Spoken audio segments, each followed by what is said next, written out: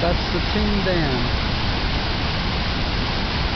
Today is July 26, 2018, the 28th anniversary of the ADA of 1990.